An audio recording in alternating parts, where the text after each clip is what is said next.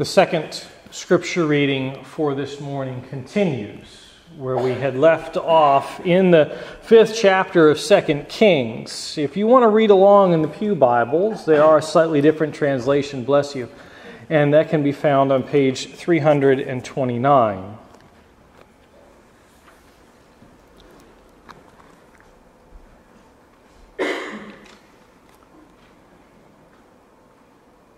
But when Elisha, the man of God, heard that the king of Israel had torn his clothes, he sent a message to the king Why have you torn your clothes? Let him come to me that he may learn that there is a prophet in Israel. So Naaman came with his horses and chariots and halted at the entrance of Elijah's house. Elisha sent a messenger to him, saying, Go wash in the Jordan seven times, and your flesh shall be restored, and you shall be clean. Then Naaman became angry and went away, saying, I thought that for me he would surely come out and stand and call on the name of the Lord his God, and would wave his hands over the spot and cure the leprosy. Are not Abana and Pharpar, the rivers of Damascus, better than all the waters of Israel? Could I not wash in them and be clean? He turned and went away in rage. But his servants approached and said to him, Father, if the prophet had commanded you to do something difficult, would you not have done it? How much more when all he said to you was, Wash and be clean? So he went down and immersed himself seven times in the Jordan according to the word of the man of God. His flesh was restored like the flesh of a young boy, and he was clean. Then he returned to the man of God, he and all his company. He came and stood before him and said, Now I know there is no God in all the earth except in Israel. Please accept a present from your servant. But Elisha said, As the Lord lives, whom I serve, I will accept nothing. Naaman urged him to accept, but he refused. Then Naaman said, If not, please let two mule loads of earth be given to your servant. For your servant will no longer offer burnt offering or sacrifice to any God except the Lord. May God's blessing uh, reside on the experiences of Scripture on this day. May it guide the meditations of our hearts and the words of my lips. I like the prophets. I like the prophets a lot. I like the prophets because there's some part of me, just like the person who likes being scared, who likes to be troubled in soul sometimes. And the prophets can be troubling. I also like the prophets because in knowing the prophets and experiencing the prophets, I come to better understand Jesus the Christ, the message that he brought, the work that he did. So I like the prophets. And I get really excited when the, the discipline of the lectionary that I use delivers me a bunch of prophets. That's why we're in this prophetic word period. Because the lectionary has given me a gift, even if I have to wrestle with it. Nathan was given a gift, not Nathan, Naaman was given a gift as well. He might not have understood how much of a gift it was at the time, but he was given a gift. Naaman was important.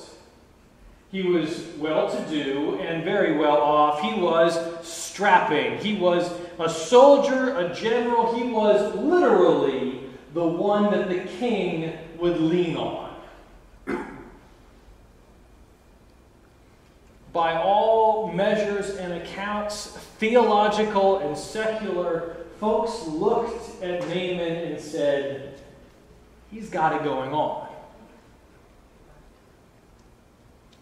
But he had something else going on, Naaman did, something that was troubling in his soul.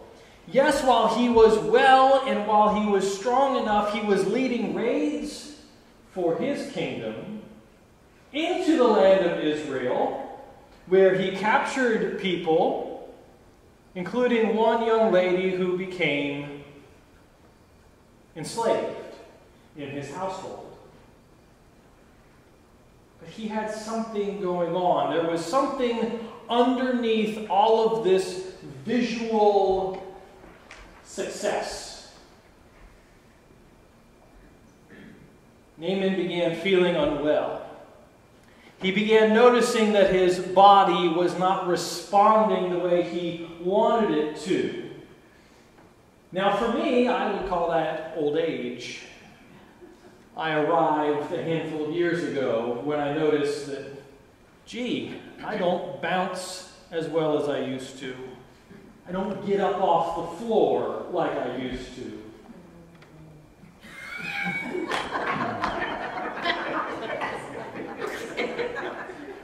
peanut gallery. I said, you don't know anything yet. Yeah. People keep telling me gets better.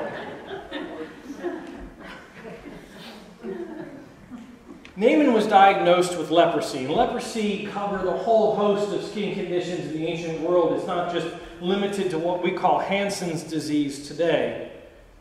And leprosy could be not just physically debilitating, it was socially and religiously debilitating.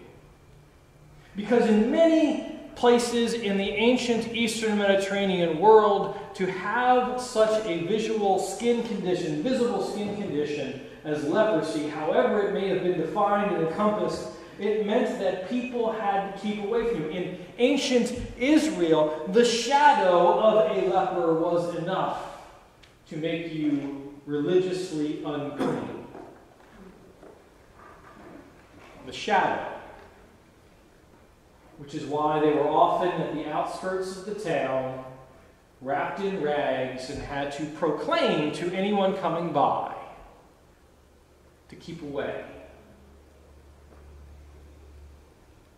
Naaman could see the future. Whether or not his culture was as explicit in the way that it treated folks with leprosy or not, I don't know, but it's a very real possibility that he would become a social and religious outcast. He would lose all that he had his position, his wealth, his health, even his family, his household. And so, we assume that he sought the best health care that could be had in Aram. There are doctors in Aram. There are rivers in Damascus, and judging by his remarks, he went and bathed in them. And yet, he still was suffering more and more from this disease, both physical and social. He was in danger of becoming quite separated. And so he receives a word in his desperation. And the word comes from a very important place in the life of Scripture. It comes from the person at the very outer edges of society, the one who would be at the lowest rung in the household, the foreign enslaved woman. She says, if only he could go to Israel and see the prophet. The prophet. If only he would be allowed to go back into the land that he had raided and invaded and taken people from, if only he would be allowed to go back there and find a prophet in Samaria, then perhaps, perhaps. Well, he gets permission to go. His king says, Go on. Israel's not that tough. We've been beating up on them for years. So Naaman gets his entourage and great wealth, incredible amounts of wealth. And he goes to the king, and the king says, oh. And this had to hurt the king to say, I'm not God. I can't heal this man. Aram is just picking a fight. If I can't make the king better, then they're just going to invade. If I can't do what Aram wants, then there's just going to be a war. If I don't bend to the will of this larger military force, then there will be blood. Elisha hears. And it's not that Elisha was actually there in the court. We can expect that there was a way of the word getting there. Probably a servant. Someone who was down near the lower rungs goes to Elisha, who had received the mantle of Elijah, the double portion. And Elisha says, Send this Naaman to me. Let him come to me. Now, Naaman is a great guy, eh, secularly speaking, and he might be a really nice human being. We'll give him the benefit of the doubt. He's important.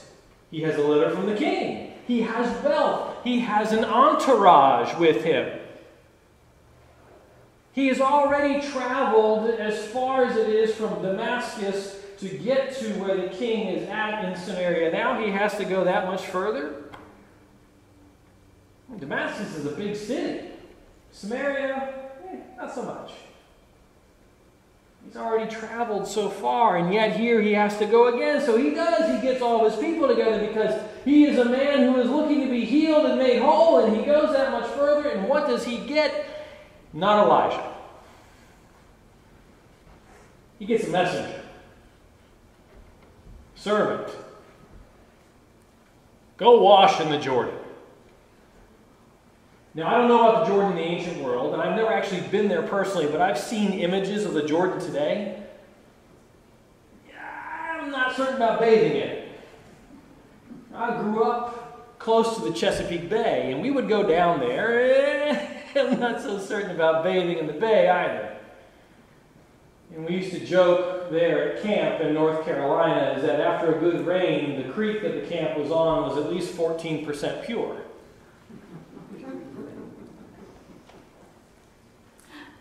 Naaman is an important person from an important place with lots of wealth and an entourage around him.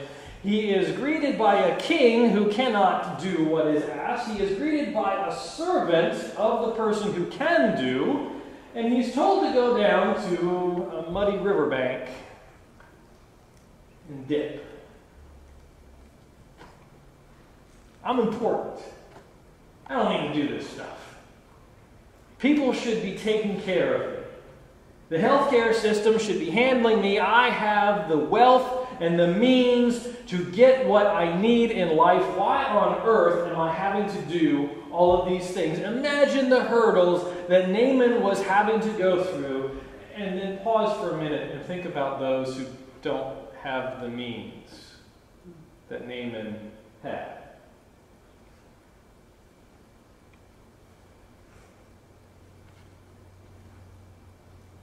And then a servant comes along and says to Naaman, If Elisha had asked you to bathe a cat while walking on a bed of hot coals, surrounded by angry dogs, you would have done it. You would have scratched up, but you would have done it. He's just asking you to go down and dip. To immerse yourself. And boy, I hear that word, and as a disciple, I get excited. go down and immerse yourself. And so Naaman, I imagine, begrudgingly says, and immerses. And he comes up clean. Not just clean, but made whole. And that is by far more important than any physical healing or restoration. He is made whole by God. And so he goes rushing back, I imagine, to Elijah. And he comes and he says, Let me pay you for your services.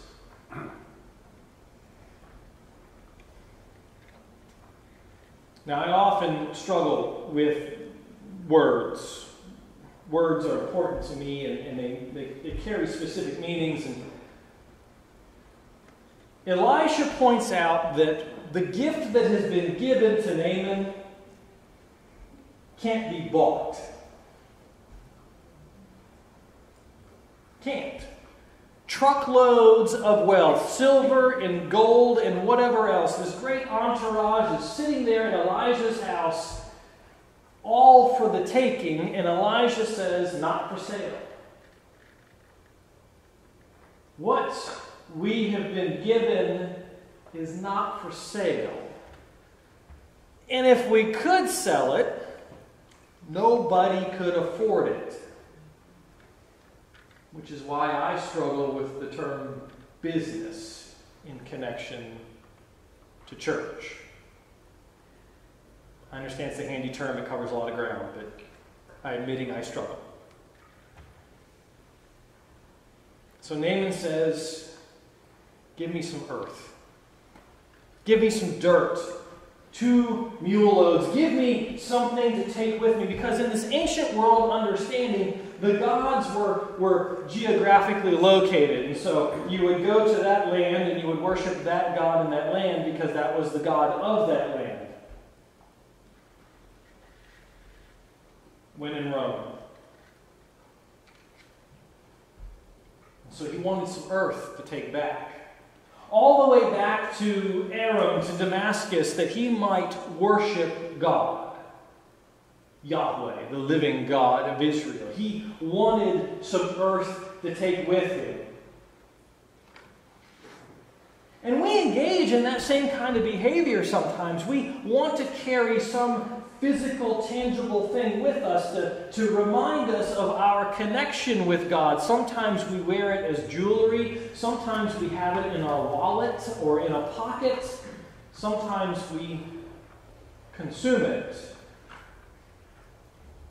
to understand this connection, the gift that we've been given to remind us, this physical reminder of God's presence. Naaman, who has been made whole, he's going to go home again, but he wants to be reminded of this God experience this journey he has taken, going into a hostile land and being actually welcomed, and then being restored, and then being sent home again. A gift that is given. Throughout the story, while there is this good news of healing and wholeness that the prophets does, because Elisha and Elijah were prophets that healed people, just like Jesus the Christ will be, there is also those troubling things that take place. The fact that this person, this kingdom, the leadership who are in positions of power and wealth and authority, who have some understanding of what it is that is going on, ultimately are not the ones who reveal the work of God. The enslaved servant, the one who ran to Elisha, the messenger that Elisha sent, the servants of Naaman, those are the ones for whom God chose to use. That's a horrible grammar. Those are the ones that God chose to use to reveal, to underpin the work of the prophet. And that should trouble us in this world that we live in.